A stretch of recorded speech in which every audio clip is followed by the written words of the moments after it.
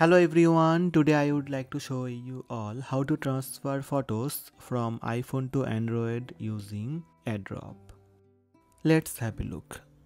For this video I am using iPhone 16 Pro Max and Google Pixel 10 Pro XL. First, in your Android phone, open the file or photo that you would like to transfer to iPhone.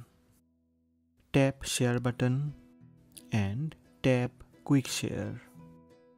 Looking for nearby devices. Now on your iPhone open control center then make sure Bluetooth and AirDrop turned on. Make sure AirDrop should be turned on with everyone for 10 minutes you will see your iPhone device name on Quick Share.